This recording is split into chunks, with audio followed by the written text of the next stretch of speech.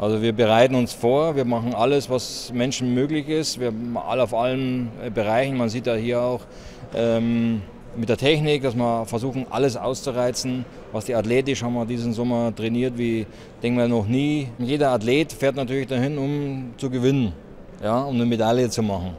Sonst würde er da ja erstmal gar nicht hinfahren. Wir versuchen dort natürlich jetzt ähm, dieses Grundgerät, was es ja momentan ist, jetzt noch zu verfeinern, noch zu verbessern und im Vergleich zu den anderen Nationen natürlich äh, dort mal schauen, wo wir stehen. Auf der anderen Seite bin ich sehr froh, dass es große Konkurrenz gibt, weil dann kann sich keiner ausruhen. Auf der anderen Seite ist es wieder so, dass bei Nominierungsgesprächen natürlich für uns das schon immer schwierig ist. Man will natürlich keinen irgendwie vom Kopf stoßen und das irgendwie ungerecht machen. Gerade wenn man das äh, Hauptereignis vor, so, vor den Olympischen Spielen dem Jahr gewinnt, versucht oder wird man immer versucht, da so ein bisschen hinzudrücken, so ungefähr, naja, Weltmeister bist du geworden, Olympiasieger sollte dann ja nicht mehr das Problem sein.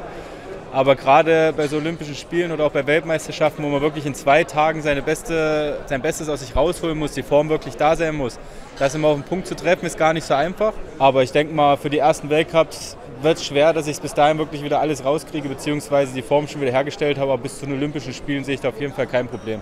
Die Bahn ist was Besonderes, was anderes dann dieses Zusammenleben mit diesen ganzen Sportlern. Also man trifft wirklich jeden Sportler der Welt. Man trifft sich im Olympischen Dorf.